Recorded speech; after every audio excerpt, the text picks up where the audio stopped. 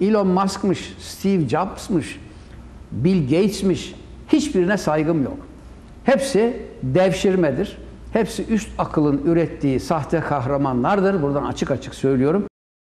Gazeteci Emin Aydın'ın hazırlayıp sunduğu Baş Başa programına katılan eski Aydın Belediye Başkanı Hüseyin Aksu, Nazilli ile ilgili sunduğu Wi-Fi ve telefon projesini anlatırken Aydın'ın sorduğu Elon Musk'la mı temastasınız Sayın Başkan sorusuna bunun için Elon Musk olmaya gerek yok. Musk süper zeki bir adam değil, Yahudi sermayesinin ortaya çıkardığı, desteklediği bir kişi diye yanıt verdi. Caddesinde, iş yerinde, her yerinde Elon, müşterek El- Elon, kullanılacak. Elon Musk'la mı temastasınız Sayın Başkan? Yani bunun için Elon Musk olmaya gerek yok. Elon Musk öyle çok böyle süper zeki bir adam değil.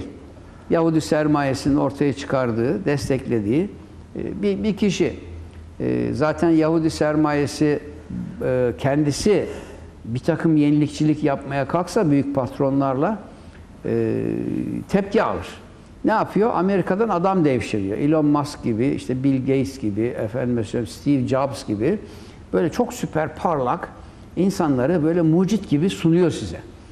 Yani Oysa arkada bir ekip çalışması var değil mi? Elbette bu bir e, üst akıl meselesi. Üst akılın projesi bunlar. Bu tür insanları dünyanın her yerinde bulabilirsiniz. Vardır. Ama kıyıda köşede kalmıştır. Hiçbir şey yapamaz. Ama çekiyor, Elon Musk'ı alıyor, Bill Gates'i alıyor. Yaşlandığı zaman da işte o Yahudi sermayesine hizmet eden işler yaptırtıyor.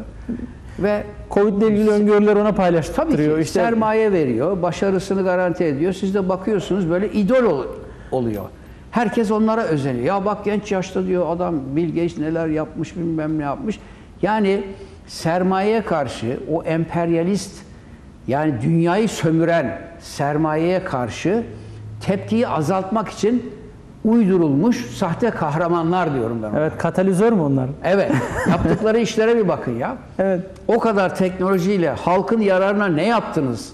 Şimdi gelin bir doğrusal kent kuralım kardeşim. Evet. Vatandaşı rahat ettirelim. Ama sen iPhone yapıp satmayı tercih ediyorsun. Evet. Ama sen Tesla e, otomobil yapıp satmayı tercih ediyorsun. Evet. Gidiyorsun uzay araştırmaları yapıp SpaceX'i kuruyorsun. Milyarlarca doları, milyarlarca insan aç iken milyarlarca doları uzay teknolojilerine harcıyorsun. Silah teknolojilerine harcıyorsun. Nerede bunun iyi tarafı? Onun için Elon Musk'mış, Steve Jobs'mış, Bill Gates'miş hiçbirine saygım yok. Hepsi devşirmedir.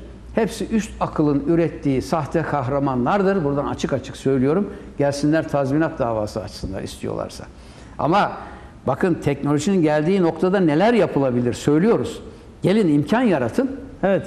Ama bize karşı da Türkiye'de siyaset saldırıyor. Aman Hüseyin Aksu bir doğrusal kent kurmasın. Ya kursun, kursun da dünyaya örnek olsun Türkiye. Türkiye'den çıksın şu doğru işler. Anlattığım şey rüya gibi yahu. Evet. Ve, ve bakın bunları biz kahvehanenin köşesinde oturup aklımıza geldi diye uydurmuyoruz. Üzerinde Evet. yıllarca çalışıyoruz,